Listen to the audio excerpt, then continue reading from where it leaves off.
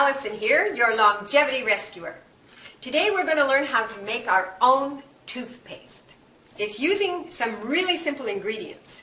Baking soda, very inexpensive, extra virgin organic coconut oil, essential oils. In this case, I'm using food grade fennel oil. So I've added, I poured in the, uh, the baking soda. I've already poured that in. And I also put in a little bit of the liquid uh, coconut oil. I'm going to take here, whoops, I've already taken that out, sorry. I tried to get all organized to make this short and sweet.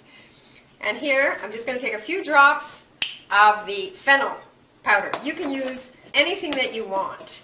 And then we just stir this up.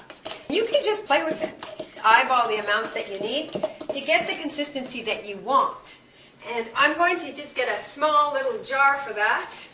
And this is going to be your toothpaste.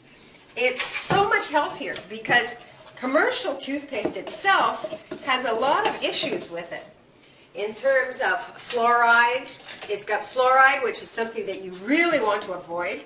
It's got sugar. And when you're getting natural toothpaste as, well, uh, you know, different organic natural toothpaste, it can be very costly. So this is a, a solution that in itself is very economical.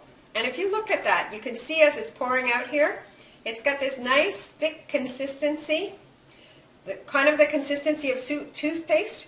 And this is something that your children, they could actually swallow. It wouldn't harm them at all. It would actually be good for them. So that's a very interesting thing to consider. Again, you're, you know, going away from these commercial products which really don't do anything for your health at all. And there you are, voila. You have your own toothpaste and you can simply put your cover on, you can travel with it, you can use it as, as the toothpaste that you have in your house for your family and know that you're safe with good ingredients. So with that, I wish you the very best year yet.